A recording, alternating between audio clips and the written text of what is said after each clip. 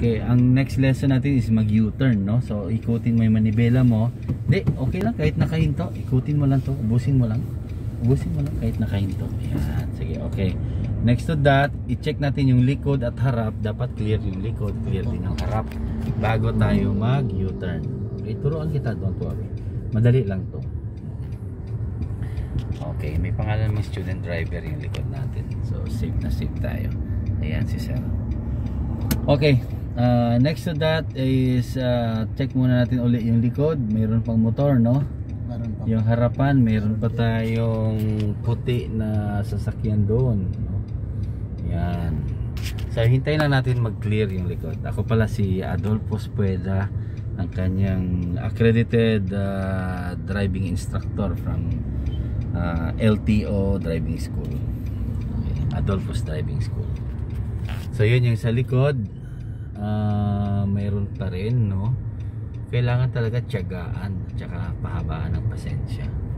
Ganyan yung pag ano, yung pagda-drive. Hintayin mo talaga mag-clear, huwag kang magmadali kaysa sa madisgrasya ka naman. So may nakikita ka pa ba doon sa likod? Meron pa po tricycle. truck, may tricycle, may truck pa yata, no? Truck. So i-make sure talaga natin na clear yung sa likod. O di kaya yung wala na talaga yung sasakyan. Okay. Ayan. Okay, lagay na natin sa number 1. Ah, mayroon pa ba? Meron pa po. Meron pa, hintayin natin mag-clear. So, alright. Yan talaga yung ano natin. May, may tricycle na green, may tricycle na blue, at saka mayroong na bara na mabilis. Alright. So, ano na yan. After ng puti, pwede na. O, lagay mo na sa clutch, clutch. Primera, wag kang magas ha. Lagay mo muna sa primera, number 1. Okay, number 1 ha. Pero may kotse pa kasi sa harapan natin. Neutral muna uli. Neutral ko muna ha. Nilagay ko muna sa neutral kasi may mayroon pa kasing ganon. Tsaka may mga ano pa sa likod. May mga series pa. Okay, yan na. Malagay sa number 1, primera. Okay, clutch, kalahati lang, angat mo. Huwag kang magas, kalahati lang. Sige, huwag mo mong angat lahat ha. Kusang liliko yan, promise. Yan yung U-turn na tinatawag. Yan, okay, steady mo lang yung clutch. Dalawang ikot nito. Okay, 1, isa pa. 2, okay na. Straight na yan, adjust na lang tayo. Dito tayo sa pinakagilid. Ang pinakagilid, ito yung mga slow lane. Mga mababagal na sasakyan. Okay, tanggalin mo na si clutch mo. Pwede ka nang mag-gas. Siguruhin mo na yung manibela mo palaging nakaano yung pangalan ng Nissan. Tuwid yung pangalan, yung litra kung anong mang brand yung meron ka. Ha. Tapos letter T ang shape ng manibela natin. So laging ganyan yan siya. Tsaka yung malaking butas nandito sa taas. Yung kamay mo nakalibel. Pag malakas na yung tunog ng makina, ilipat mo sa second gear. Okay, clutch muna. Clutch muna, sipa mo na clutch. Sipa. Malakas na sipa. Yon, second gear lipat. Yun. O, tanggalin mo si clutch dandahan at mag-gas na. Yan, gas naman. Yan, ganyan lang.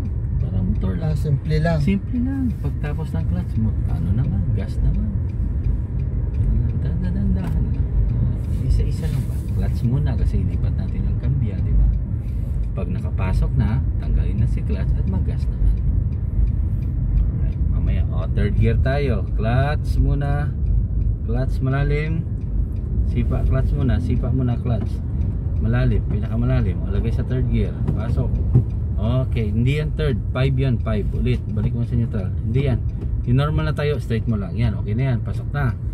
Patanggalin si clutch, dandahan, kasi mag-gas na tayo. Diba no? Yun, dali mo.